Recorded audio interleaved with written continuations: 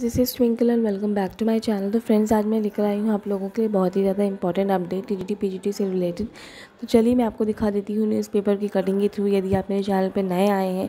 Channel को like subscribe और share करना बिल्कुल ना भूलिएगा। सो फ्रेंड्स ये देखिए टी जी पीजीटी भर्ती में तदर्थ शिक्षकों को दिया गया मौका।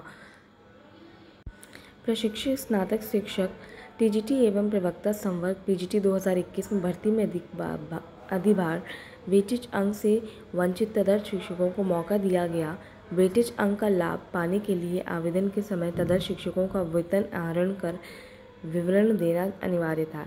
ऐसे में वेतन न पाने वाले तदर्थ शिक्षक सुप्रीम कोर्ट चले गए और इधर परीक्षा में फ्रेश अभ्यर्थी के रूप में आवेदन कर सम्मिलित हुए। अब कोर्ट के आदेश पर उत्तर प्रदेश माध्यमिक शिक्षा सेवा चयन बोर्ड ने तदर्थ शिक्षण अनुभव का विवरण पोर्टल पर 15 सितंबर तक अपलोड करने का अवसर दिया है। उत्तर प्रदेश माध्यमिक शिक्षा सेवा चयन बोर्ड के उप सचिव नवल किशोर ने बताया कि इस भर्ती परीक्षा की नियमवाली में तदर्थ शिक्षकों के लिए वेटेज अंक निर्धारित है। इसलिए तदर्थ शिक्षकों को आवेदन के लिए वेतन आहरण कर विवरण देना था। विभिन्न कॉलेजों में कई ऐसे तर्ज शिक्षक थे जिन्हें वेतन नहीं मिल रहा था।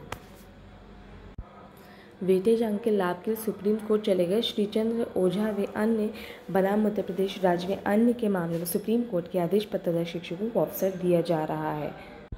फ्रेंड्स, यदि आपको मेरा ये न्यूज़, ये वीडियो पसंद आए हो तो इसको शेयर करिएगा, लाइक, सब्सक्राइब और शेयर करना बिल्कुल ना भूलिएगा। Thank you so much.